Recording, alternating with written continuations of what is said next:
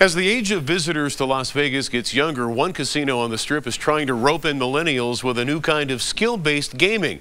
It's basically poker and blackjack with a twist. And as 13 Action News reporter David Schuman tells us, luck will only get you so far. It's no secret casinos are doing everything they can to draw in millennials. But watch this. This is their challenge in a nutshell. A casino official is explaining the rules of a brand new game, and this man's phone is splitting his attention. Millennials in general we find to be a little bit more fickle. They don't have the loyalty that some of our other customers might have. Caesars Entertainment hopes they've found a solution in skill-based gaming. Inside Planet Hollywood, variations on Texas Hold'em poker and blackjack pit players against each other, not the house.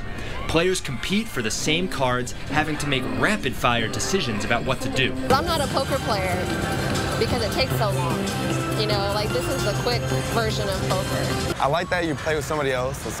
I'm very competitive. The thing that people seem to like the most is how quickly they're picking up not only the gameplay, but the strategy behind it. I needed a 10 or a queen. They want that interactive experience, that real skill-based, that thought-provoking to be involved in what's happening and not just sort of be a zombie in front of a machine.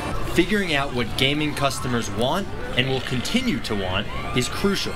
According to the latest numbers from the LVCVA, 69% of visitors last year gambled, but that's slightly down from previous years. The more concerning number is only 4% of visitors came to town with the primary purpose of gambling.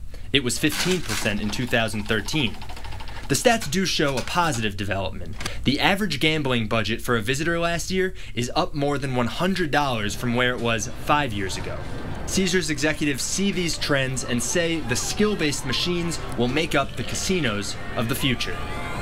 David Schuman, 13 Action News.